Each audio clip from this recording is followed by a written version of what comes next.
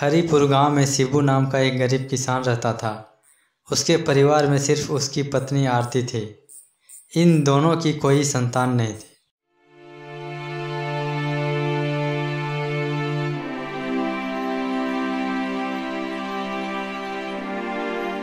क्या हुआ भगवान इतनी दुखी क्यों हो? क्या सोच रही हो?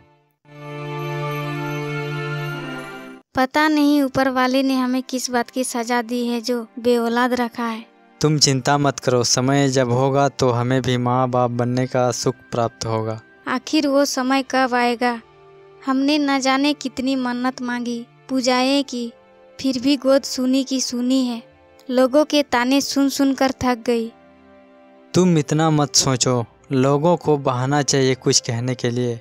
भगवान पे विश्वास रखो। उसके घर देर है, अंधेर नहीं। शिबू किसी तरह आरती को समझा बुझाकर शांत करता है। एक दिन शिबू खेत जा रहा था, तभी नदी में बहते हुए एक बच्चे को उसने देखा। अरे, ये बच्चा कहाँ से आ गया? भाग्यवान, देखो, मैं तुम्हारे लिए क्या लाया? क्या लाए हो जी? हाय राम, कितनी प्यारी बच्ची है। किसकी बेटी है? हमारी बेटी है और किसकी रहेगी? मज़ाक क्यों करते हो जी? बेटी का सुख हमारी किस्मत में कहा? अरे हाँ भगवान मैं सच कह रहा हूँ। मैंने कहा था ना भगवान के घर देर है अंधेर नहीं। शिबू ने सारी बातें बताई। दोनों ने मिलकर उसका नाम सोना रखा और बहुत प्यार से लालन पालन उसका किया। समय के साथ अब सोना बड़ी हो गई थी।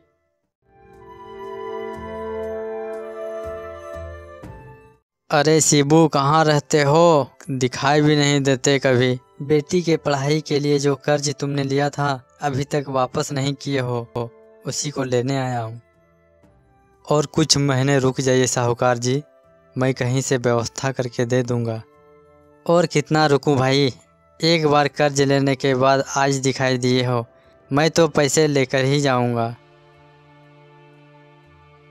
मैं तो यही था साहूकार जी। बस हाथ खाली रहने के कारण आपके पास नहीं आया।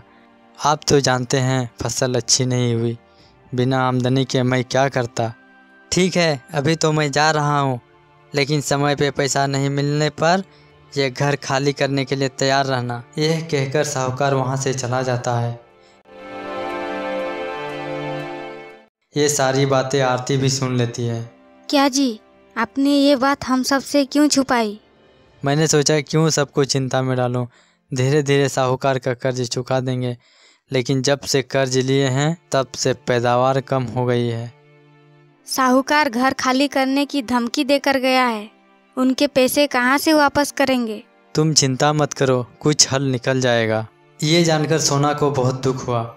वह सोच रही थी कि काश पिताजी की कुछ मदद कर पाती। एक दिन वह अपने पिता के लिए खाना लेकर जंगल के रास्ते खेत जा रही थी। तभी रास्ते में एक बूढ़ी औरत ने उसे कहा, बेटी, मुझे जोरों की प्यास लगी है। क्या तुम मुझे पानी पिलाओगी? हाँ बूढ़ी माँ, ज़रूर पिलाऊँगी। लेकिन मैं सारा पानी पीऊँगी। अगर तुम सारा पानी दोगी तो ही मैं पीऊँगी, नहीं तो प्यासी रहूँगी। कोई बात नहीं, आप सारा पानी पी जाइए। मेरे होते आप प्यासी क्यों रहेंगी? लेकिन ये पानी तुम किसी के लिए ले जा रही हो ना? हाँ इसे मैं अपने पिताजी के लिए ले जा रही थी। वह खेत में काम कर रहे हैं। लेकिन आप चिंता मत करो, मेरा घर सामने ही है। मैं पिताजी के लिए फिर से पानी ले आऊँगी। सोना ने बूढ़ी औरत को पानी पिलाया और वह वापस पानी लेने के लिए घर जा रही थी।